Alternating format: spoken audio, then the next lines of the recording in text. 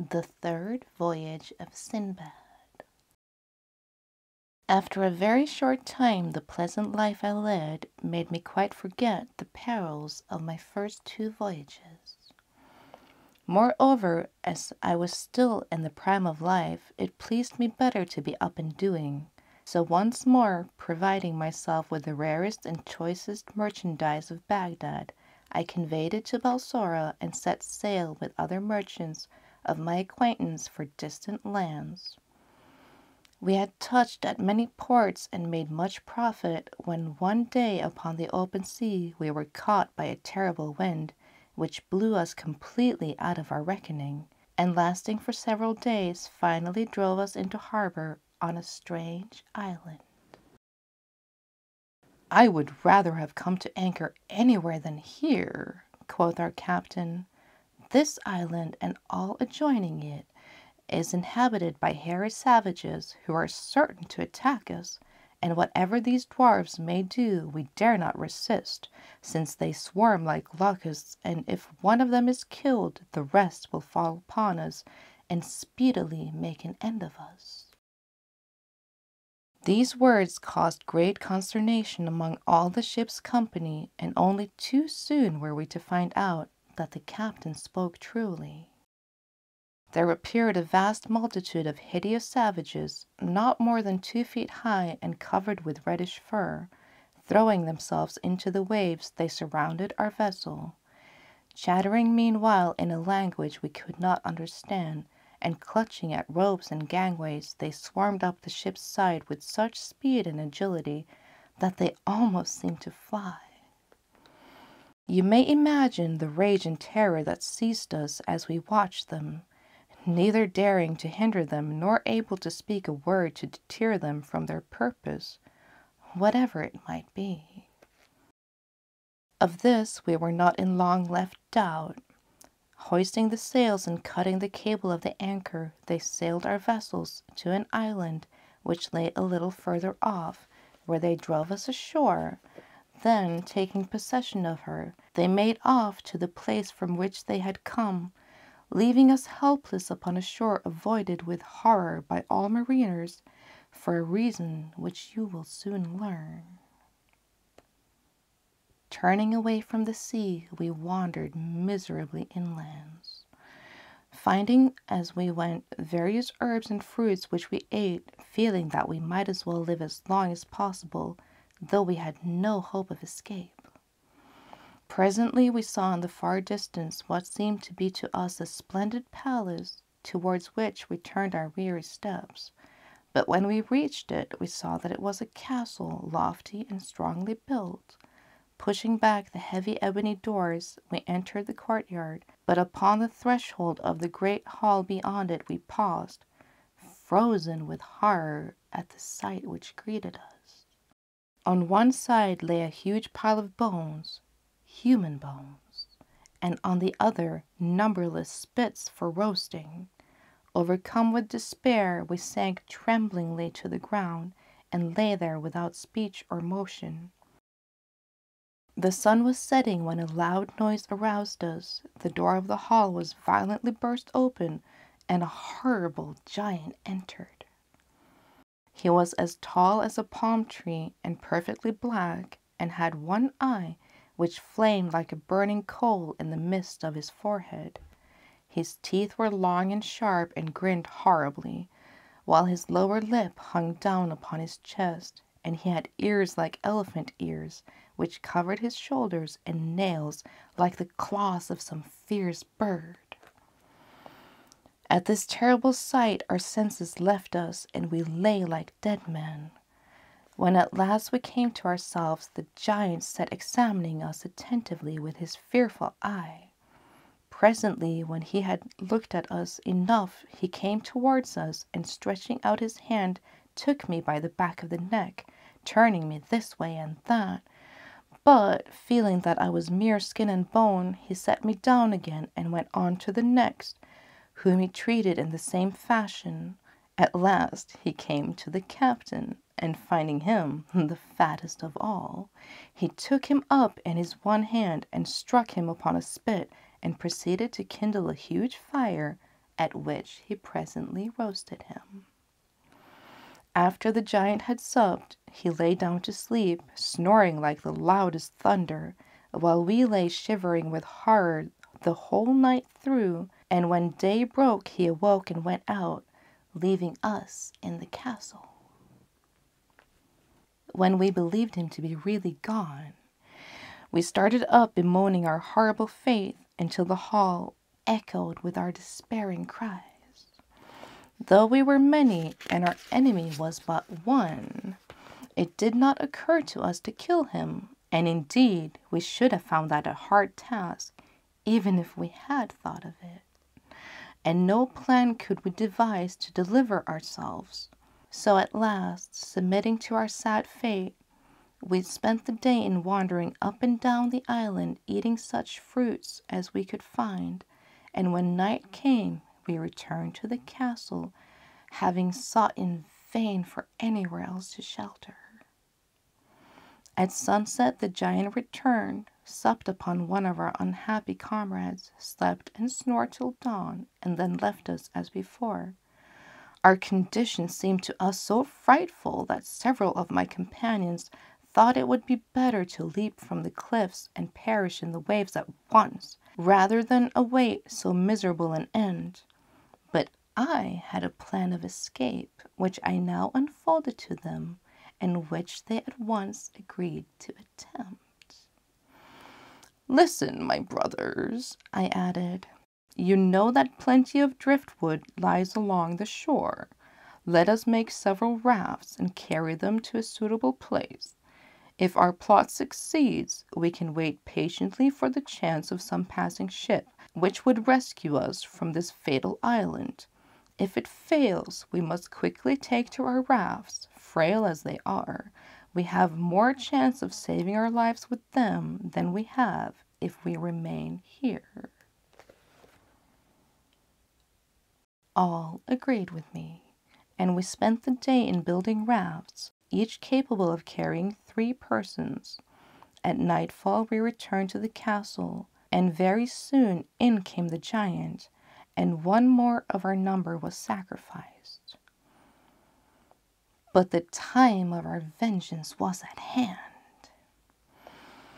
As soon as he had finished his horrible repast, we lay down to sleep as before, and when we heard him begin to snore, I and nine of the baldest of my comrades rose softly and took each a spit which we had made red hot in the fire, and then, at a given signal, we plunged it into the giant's eye in one single accord, blinding him completely. Uttering a terrible cry, he sprang to his feet, clutching in all directions to try to seize one of us. But we had all fled in different ways as soon as the deed was done, and thrown ourselves flat upon the ground in corners where he was not likely to touch us with his feet. After a vain search, he fumbled about till he found the door and fled out of it, howling frightfully. As for us, when he was gone, we made haste to leave the fatal castle, and, stationing ourselves beside our rafts, we waited to see what would happen. Our idea was that if, when the sun rose, we saw nothing of the giant, and no longer heard his howls, which still came faintly through the darkness, growing more and more distant, we should conclude that he was dead and that we might safely stay upon the island and need not risk our lives upon the frail rafts. But at last, morning came and showed us our enemy approaching us, supported on either hand by two giants nearly as large and fearful as himself, while a crowd of others followed close upon their heels. Hesitating no longer, we clambered upon our rafts and rowed with all our might out to sea. The giants, seeing their prey escaping them, seized up huge pieces of rock and, wading into the water, hurled them after us with such good aim that all the rafts except the one I was upon were swamped, and their luckless crew drowned, without our being able to do anything to help them. Indeed, I and my two companions had all we could do to keep our own rafts beyond the reach of the giants, but by dint of hard rowing we at last gained the open sea. Here we were at the mercy of the wind and waves, which tossed us to and fro all that day and night. But the next morning we found ourselves near an island, upon which we gladly landed. There we found delicious fruits, and having satisfied our hunger, we presently lay down to rest upon the shore. Suddenly we were aroused by a loud rustling noise, and starting up, saw that it was caused by an immense snake which was gliding towards us over the sand. So swiftly it came that it had seized one of my comrades before he had time to fly, and in spite of his cries and struggles speedily crushed the life out of him and its mighty coils, and proceeded to swallow him. By this time my other companion and I were running for our lives to some place where we might find hope to be safe from this new horror, and seeing a tall tree we climbed up into it, having first provided ourselves with a store of fruit of the surrounding bushes.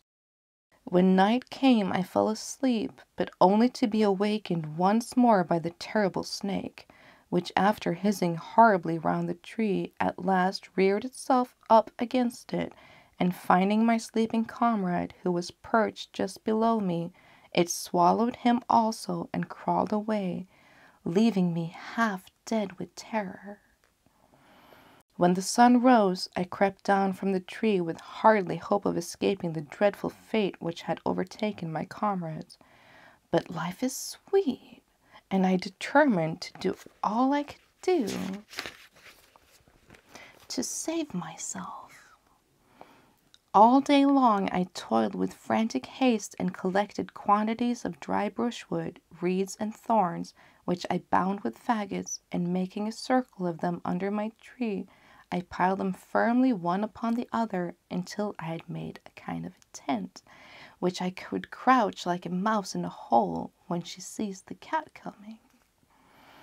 You may imagine what a fearful night I passed, for the snake returned eager to devour me and glided round and round my frail shelter seeking an entrance.